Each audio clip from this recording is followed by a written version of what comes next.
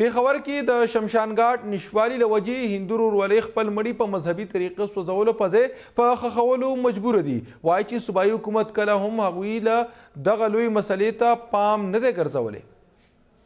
پېښور کې د دولس سوه نه زیات هندو ورورولۍ سره تعلق لرونکي خاندانونه پاتې کېږي د مذهب مطابق هغوی خپل مړي سوځوي او بیا یې را په اوبو کې بهوي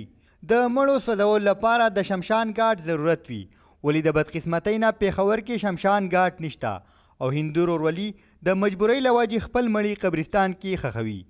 د هندو رورولۍ سره تعلق لرونکی هارون سربديال ګيله من دی چې د ډېرو مطالبو او درخواستونو نه پس هم هغوي لپاره پېښور کې شمشان ګاټ جوړ نه کړی شو. دا یو حکومت پاکستان باندې هم ډیر غټ کوېسچن مارک دی چې د پېښور د حکومت خیبر پښتونخوا یو دغه دی دارالخلافه ده او دلته شمشان ګاټ نشته دی حالانکه دا حالانکه دا خو هندو ډامیننټ کنټري دی او موږ خپل مجبور یو چې خپل مړي چې دی هغه دلته او خخو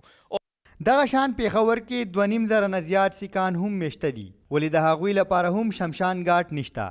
او هغوی خپل مړي لرې ځایونو ته وړي په کوم چې ډېر وسایل او وخت خرچ کېږي. په دې اړه د سیک ورورولۍ مشر رادیش سینګ ټوني وايي چې د سردار سورن سینګ نه علاوه تر دې دمه په صوبايي او قومي سطح د هغوی نمایندګانو د دوی د لویې مسلې په اړه څه اواز نه دی اوچت کړی. مونږ خپل مړی چې کوم دی نو اټک ته بوزو او نن سبا خو چې کوم دی نو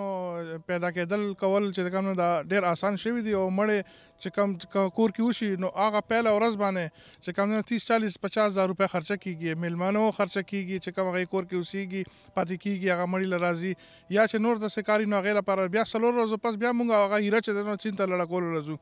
نو بیا زمونږ یو دوه ګاډي کېږي نو هغې باندې هم خرچه کېږي. اقلیتی رورلی دا هم وایی چی مذهبی طور هغوی ته د مړو خښولو اجازت نشته خو ولی د سماجی مجبوری له وجی هغوی خپل مړی خښوی کیمره مین نعیم بابر سره محمد ارشاد مشرق ټی وی پيښور.